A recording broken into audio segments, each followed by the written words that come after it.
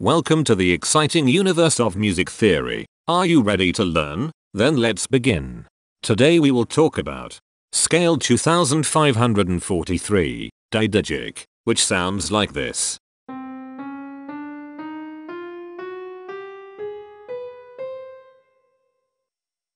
This scale has 9 tones, which means it is called an enneatonic scale. This is a bracelet notation diagram of scale 2543. The shaded circles represent tones that appear in the scale, and they are read clockwise, starting at the top.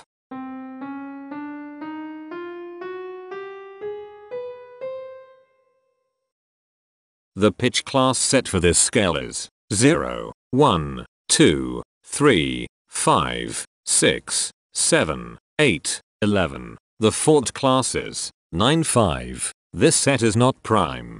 The structure of a scale is a description of the interval distance between each successive tone. This scale has a structure of 1 1 1 2 1 1 1 3 1.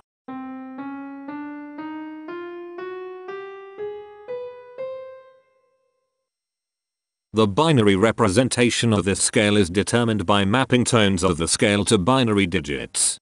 Each binary digit represents a power of 2.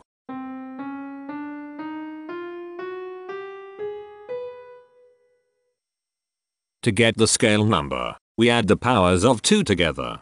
The powers of 2 that are present in the scale, all added together, equals 2543. That is why the scale number, in decimal, is 2543. The scale number not only enumerates the scale with a unique index, but it also literally describes the tonal content of the scale. Represented as a binary number in base 2, the scale number is 1001111011111. Here are the common triads present in this scale. The diagram in the center is a graph of parsimonious voice leading between triads. There are four major triads. There are four minor triads. There is one augmented triad. There are five diminished triads.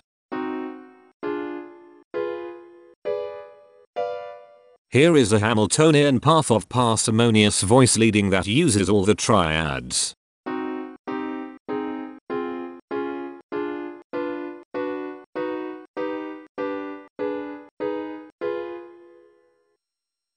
This scale has 9 modes. The first mode is itself. The second mode is scale 3319, also known as Thaligic. It sounds like this.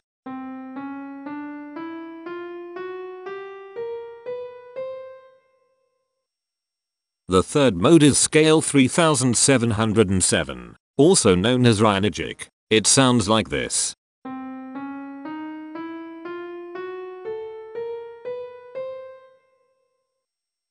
The fourth mode is scale 3901, also known as Bicrigic. It sounds like this.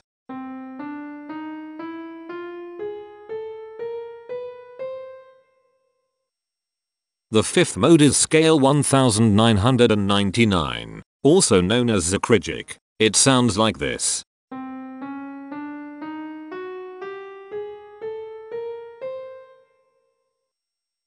The sixth mode is scale 3047, also known as Panagic. It sounds like this.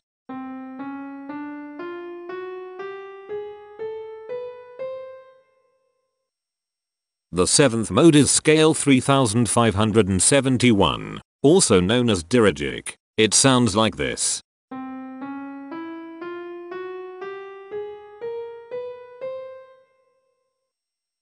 The eighth mode is scale 3833, also known as dicrigic. It sounds like this.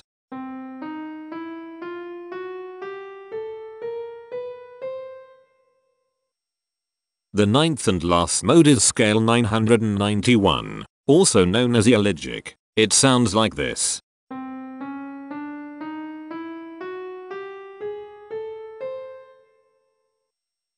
Imperfections are tones that have no tone a perfect fifth interval above them.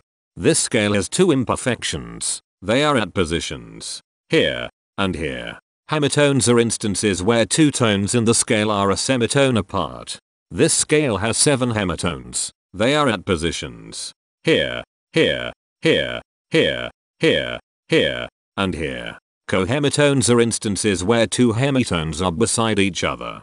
This scale has 5 cohemitones. They are at positions here, here, here, here, and here. The distribution spectra describes the size of each of the scale steps, which in turn describes how evenly spaced the tones are.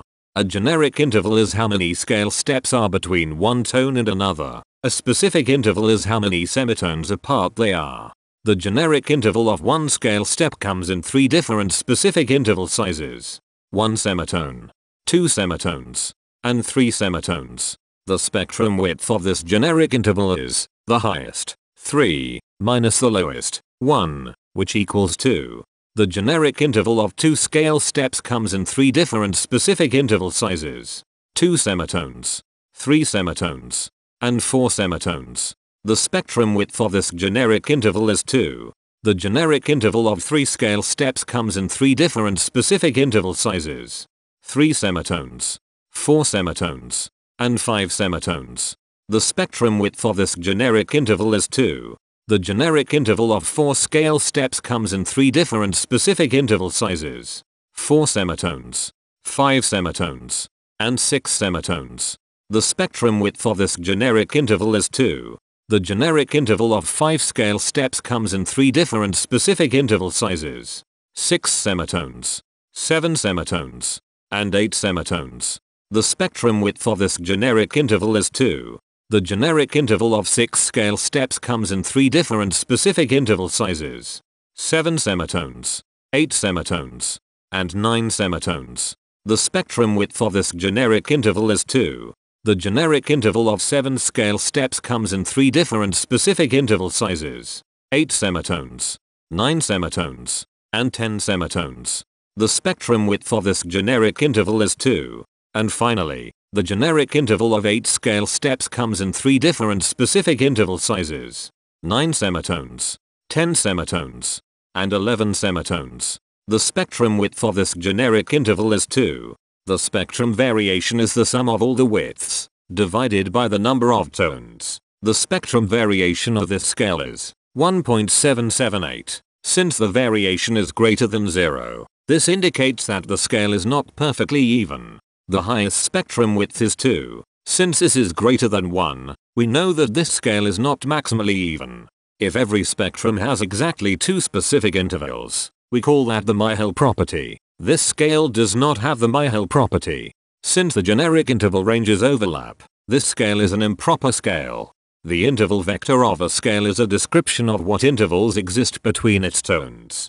There are 7 intervals with the size of one semitone. They are here, here, here, here, here, here, and here. There are 6 intervals with the size of two semitones. They are here, here, here, here, here, and here. There are six intervals with the size of three semitones. They are here, here, here, here, here, and here. There are six intervals with the size of four semitones. They are here, here, here, here, here, and here. There are seven intervals with the size of five semitones. They are here, here, here, here, here, here, and here. There are four intervals with a size of six semitones. They are here, here, here, and here. Each interval does not appear in this scale a unique number of times, so this is not a deep scale. Heteromorphisms are comparisons between every interval in a set. They can be classified as contradictions, ambiguities, and differences. A contradiction exists when a small generic interval has a bigger specific size than a larger generic interval. For example, if a generic third interval has a larger size in semitones than a generic fourth interval, that is a contradiction.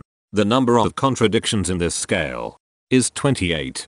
An ambiguity exists when two intervals have the same specific size, but they have different generic intervals. For example, if a generic fourth and a generic third interval are the same size in semitones, that is an ambiguity. The number of ambiguities in this scale is 94. A difference exists when two intervals have the same generic size, but different specific sizes. For example, a major third and a minor third both have the same generic size, but they have different sizes when measured in semitones. The number of differences in this scale is 180. The coherence quotient measures the proportion of ambiguities and contradictions among a set's intervals. A scale with a higher coherence quotient is a good candidate for musical usefulness. The coherence quotient is 0.736. The sameness quotient measures the proportion of heteromorphic differences among a set's intervals. A scale with a higher sameness has fewer differences, so it is also a good candidate for musical usefulness. The sameness quotient is 0.375. This scale has no reflective symmetry. This scale has a different pattern of intervals ascending and descending, so it is not palindromic. This scale has no ridge tones. The balance of a scale depends whether the tones are spaced equally enough for the center of gravity to be in the center of the scale.